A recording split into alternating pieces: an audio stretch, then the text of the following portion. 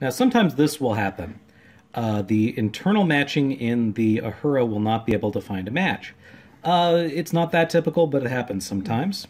If we look at the spectrum, view spectrum, you can see that this scan has a lot of background fluorescence and a ton of peaks. And because the Ahura matches, uh, as far as we can tell, just based on peak locations, both of these things can make it very confused. So this is where our custom software comes in. Um, we actually have a completely different matching method. We can remove all that background fluorescence, so it's complementary to what the Ahura does. So uh, we've got two versions of the software. One works on your PC, and one works on your smartphone. So we'll start by showing off what the smartphone can do. So first we'll go back, press enter here, go down to export to card. You see it exports very quickly. This just takes the file, puts it into the SD card, which is uh, in here. Now we don't use a normal SD card, we use what's called a Toshiba Flash Air. The Flash Air actually has a tiny Wi-Fi server built right into the card, which means that you can actually access the files from any Wi-Fi um, active device. So what we can do is I can take out my smartphone here, get that powered up, go into my internet, uh, turn on Wi-Fi, and let's see. There's this FlashAir network. I've connected to it before, so it remembers the password. The password is just password, all lowercase. So if I go into my internet, and I go just to flashair.com, it will take me to this interface. And you can see there are all these folders here that just show what's on the card. Now if we look uh, here, we're in session 1, scan 9. So I'll go into the session 1 folder, download scan 9. Now you notice there's also scan 9 dash dark. There's a dash dark for every uh, file you upload. Uh, the dark just gives some background lighting information. It's not useful for our purposes, so just ignore it. So from here, you go into the Raman app, which we provide with every spectrometer. Click on that and press Open CSV SPC RF. Uh, use the My Files app to uh, find the file. It's in internal storage under Downloads. And we'll just scroll down. It's all in alphabetical order, so we just need to get down to the S's. Okay, and it's scan 9. Um, I've obviously uploaded a few different Scan 9s over the, the past year or so. Uh, today's the 26th, so I know it's this one.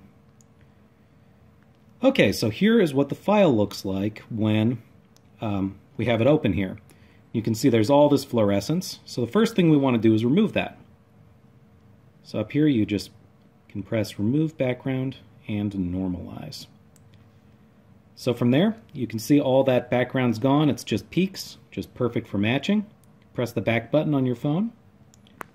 Open CSV, SPC, we did before. Now you press Match Raman Database.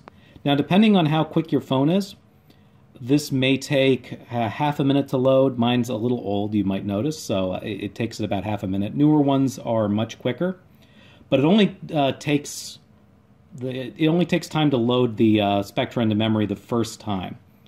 Uh, subsequent matching, you don't have to worry about that. It will match them instantaneously. And you can see we've got our matches. And uh, the very top one here is grandidierite. And we click on that and you can see, yes, this is a very good match. So this is a very handy tool for identifying even fairly obscure gems. So let's have a look at how to do this on the desktop app. So this is actually really straightforward. What we're going to do is first go to Wi-Fi, connect to the Flash Air server. As usual, the password is just password, all lowercase. It will take it just a moment to connect. So we can go to, just type Flash Air in the URL bar up there, and it will take you right to the Flash Air. Once again, we're in session one, scan 9, so we're going to go ahead and save that. Save it into Raman data. Okay, I've already downloaded a scan 9 before, we'll just overwrite it. Okay, let's open up the Raman app. You'll see it looks pretty similar to how it is on the uh, smartphone. First we're just going to click open. Okay, tells us the calibration, which uh, isn't important right now. Okay, so we want scan9.spc. And you can see it's got the same uh, background that we saw on the phone app. So we'll remove the background. Gives us a really nice flat spectrum. Oops. And this happens sometimes. The Flash Air will want to pop up a little while after you've uh, um, connected to it. Okay, now we, uh, we've removed background. Now we will match database. This, because uh, the computer's processor is faster than the phone's, this goes a lot quicker. And you'll see Grandidierite is a great match.